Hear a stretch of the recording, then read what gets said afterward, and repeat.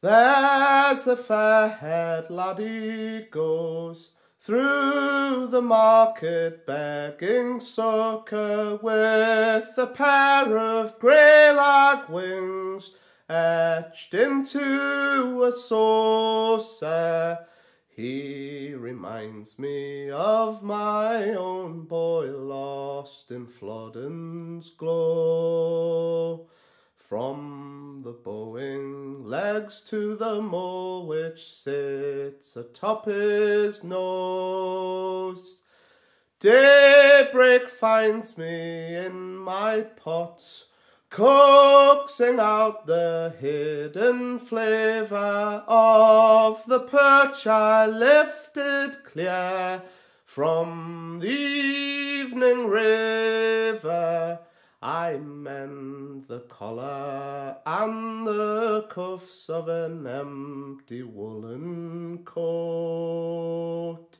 In the pocket place a mitten from a piebald ferret sewn. Half a bar of tallow soap gains me entry to the courtyard where accused men ply their trade or waste away the day. Hungrily I scan the faces only to be found the tired eyes of an old man stricken on the ground. Have you seen a fair-haired lad with a mole atop his nose? Aye, if I am not mistook, the very same went free this morning. How my heart goes leaping like a hare cloud burst upon the revelation to rock he is returning. Hold my hand and sit you up. Drink a good long draught from my cup. Dip a clump of pandemain and wrap this coat around your shoulder.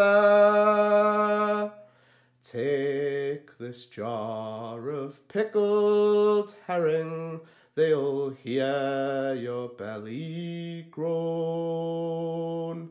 And light this faggot when you arise to thaw your icy bones.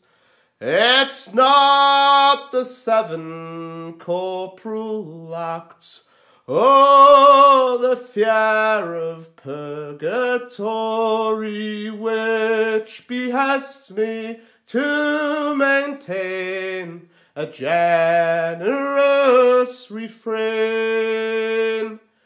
I know that if my boy were in trouble and I were far away, was somebody there to help him. To sing this song is ever so hard. I wish that I could sing it better. Now we've nearly reached the end we can start to listen again.